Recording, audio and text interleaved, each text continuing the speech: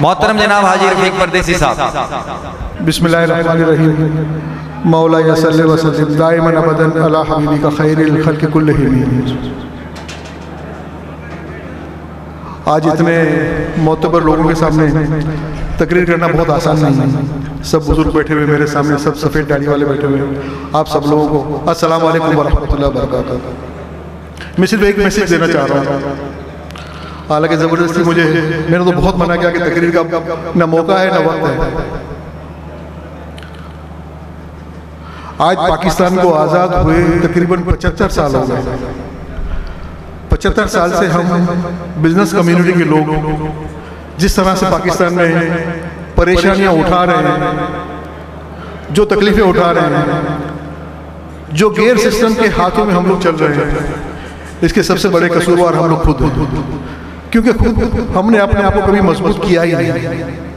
अगर हम लोग खुद अपने आप को मज़बूत करते तो आज ये जो हम मुश्किल देख रहे हैं, वो शायद मुश्किल ना आती लेकिन मैं तो कहता हूँ, जहाँ से जाके वहीं से सवेरा। आज से जागते हैं। अल्लाह ताला का नाम लेके जिस तरह कराची क्लब में मेमन कम्युनिटी के जो लोग आ रहे हैं, इसी तरह पाकिस्तान भर में और शुरू करते हैं हम कराची से। कराची में इतने मेहमान हम लोग सब कारोबारी लोग हैं, माशाल्लाह।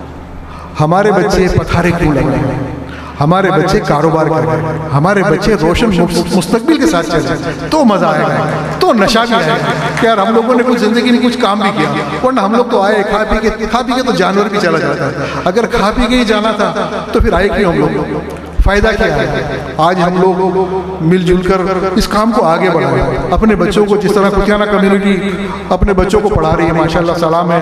इनकी पूरी कम्युनिटी को, पूरी, पूरे उस लीडरशिप को जो ये काम कर रही है अलहमदिल्ला आप लोग काम को आगे बढ़ाओ। हमारे बच्चों को बस आगे बढ़ाओ। आज हमारे पास ऐसे ऐसे हीरे पड़े हुए हैं।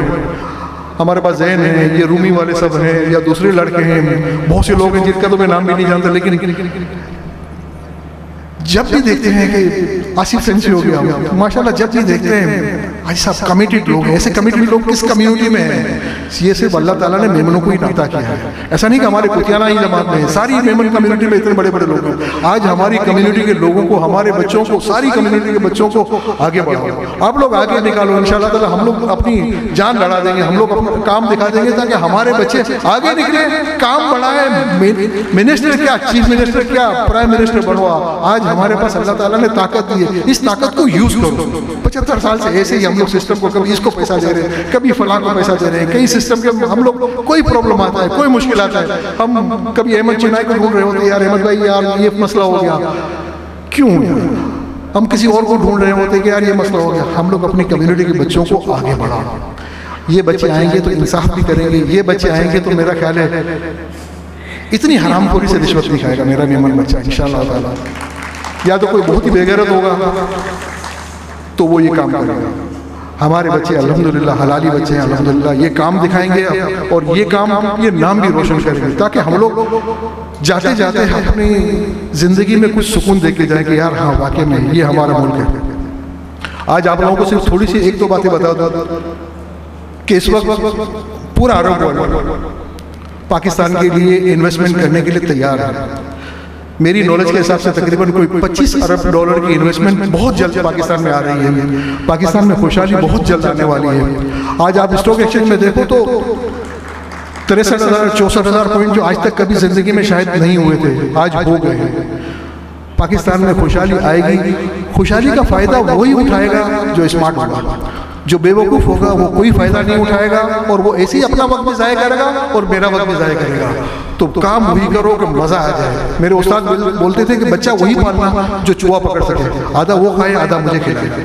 काम वो करो कि स्मार्ट बनो। मेमन बच्चा हो और स्मार्ट ना हो तो समझ लो शायद हॉस्पिटल में बदल गया। ये मेमन है ही नहीं। मेमन बच्चा तो अल्लाह ताला ने पैदा ही उसको स्मार्ट किया। जिस तरह एक बहुत मशहूर है कि यहूदी के बच्चे बहुत स्मार्ट होते हैं। अल्लाह ताला ने मेमनों के बच्चों को भी बहुत स्मार्ट बनाया है। अल्लाह ताला का स्पेशल करम है। हमारे बुज़ुर्गों का स्पेशल करम है। इसमें अगर हम लोग फ़ायदा ना उठा सके तो हमारी ज़िंदगी बेकार है और आप लोगों का यहाँ पे आना हमारा मिलना अगर खाना पीने के लिए आना है तो मेरा घर खुला हुआ है मेरा ऑफ़िस खुला है सिर्फ़ खा पी के चले जाओ। अगर किसी कौम के मुस्तकबिल के लिए आए हो यहाँ पे मुस्तकबिल को बढ़ाने के लिए आए हो उठाने के लिए आए हो तो कुछ काम करके जाओ इंशाल्लाह कुछ सोच दे के जाओ। अहमद चिनाई की तरह मोबाइल के ऊपर मत बैठो। आप सोचो, सुनो और काम को आगे बढ़ाओ। वैसे ही हमारे पास वक्त नहीं है, हम लोगों के पास बहुत कीमती वक्त है, अल्हम्दुलिल्लाह। हम आपको इस वक्त को, हम इस वक्त का फ़ायदा उठाओ। हम लोग मिलजुल कर इस काम का फ़ायदा उठाएँ इन ताला। और हमारी जो लीडरशिप है, आज उस्मान परदेसी हो गए, सलीम रूमी साहब हो गए, आज इन लोगों को एक शौक है कि हमारी कौम आगे बढ़े। और हम लोग आपका, आपकी नौकरी लेने के लिए तैयार हैं, हम काम करने के लिए तैयार हैं, हम लोग वर्कर हैं, हम लोग हर तरह से ताला काम उतार देंगे। और हमें ये पता है कि काम को उतारना किस तरह है ताला। तो हम लोग आप लोगों के साथ साथ हैं अल्लाह ताला सलामत रखे। कुतियाना को जिंदाबाद, पाकिस्तान पाइंदाबाद